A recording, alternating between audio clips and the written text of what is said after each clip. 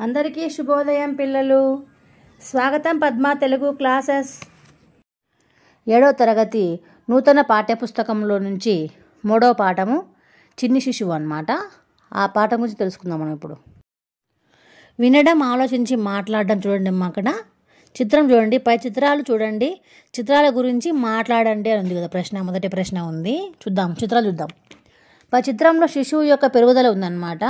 శిశువు నేర్చుకునే ఆటల గురించి ఉంది. మొదటి బొమ్మలో ఐదు నెలల లోపు ఉన్న వయసు గల శిశువు ఉన్నాడనమాట కాళ్ళు చేతులు కదల్చడం మాత్రమే చేయగలడు రెండో బొమ్మలోని శిశువుకు సుమారు ఆరు ఏడు నెలలు నెలల వయసు ఉంటుందన్నమాట.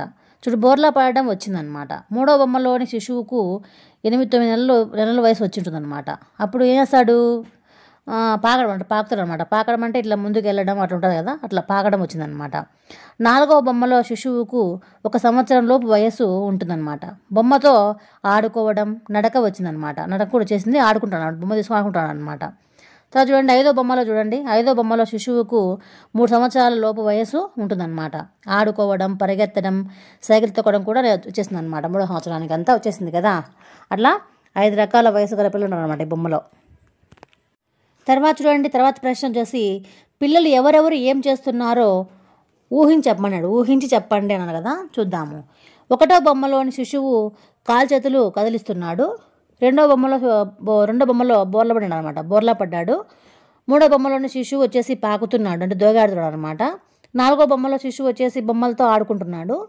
ఐదో బొమ్మ వచ్చేసి ఐదో బొమ్మలో వచ్చేసి శిశువు వచ్చేసి చిన్న సైకిల్ తొక్కుతున్నాడు అనమాట ఇలా రకరకాలుగా ఉన్నాయన్నమాట బొమ్మలు అక్కడ. ఇప్పుడు ఉద్దేశం పాఠభాగ ఉద్దేశం అండి తల్లిదండ్రులు తమకు పుట్టిన శిశువును చూసి ఆనందిస్తారు. ఆ చిన్నారిని కన్నా చిన్న నాన్న బుజ్జి అని రకరకాల ముద్దు పేర్లతో పిలుస్తుంటారనమాట ఆ శిశువు నవ్వులు చేష్టలు చూసి మురిసిపోతుంటారనమాట అలా అన్నమయ్య బాలకృష్ణుణ్ణి బాలకృష్ణుని యొక్క బాల్యాన్ని ఊహించాడనమాట దానినే వర్ణించిన తీరు చూడు దానిని వర్ణించిన తీరు చెప్పడమే ఈ యొక్క పాఠ్యాంశం యొక్క ఉద్దేశం అనమాట ఎంత అద్భుతంగా వర్ణించాడు చూద్దాం. అన్నమయ్య మనకు. తాళ్ళపాక అన్నమాచార్యులు. కవిపరిచయము తాళ్ళపాక అన్నమాచార్యులు.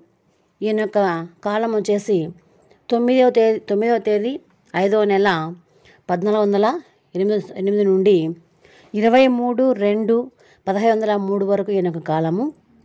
అన్నమాచార్యులు కడప జిల్లా తాళ్ళపాక గ్రామంలో జన్మించారు. తల్లి లక్కమాంబ తండ్రి నారాయణ సూరి. అన్నమయ్య క్రీ శకం పద్నాలుగు వందల ఎనిమిది నుండి పదహైదు వందల మూడు మధ్యకాలంలో జీవించాడు. అన్నమయ్య తెలుగులో తిరుమల శ్రీ వెంకటేశ్వర స్వామిని స్తుతిస్తూ ముప్పై రెండు వేల సంకీర్తనలు రచించిన వాగ్గేయకారుడు. అవేగాక పన్నెండు శతకాలు ద్విపద రామాయణం సంకీర్తన లక్షణం శృంగార మంజరి వెంకటాచల మహత్యం మొదలైనవి కూడా రచించాడు ఇందులో కొన్ని అల్లభ్య రచనలు ఉన్నాయి. అలభ్య రచనలు ఉన్నాయి.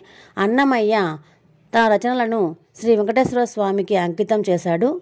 అన్నమయ్యకు పద కవితా పితామహుడు అనే బిరుదు కూడా ఉందన్నమాట. ఇది ఈ తాళ్ళపాక అన్నమాచార్యుల యొక్క కవిపరిచయం అన్నమాట.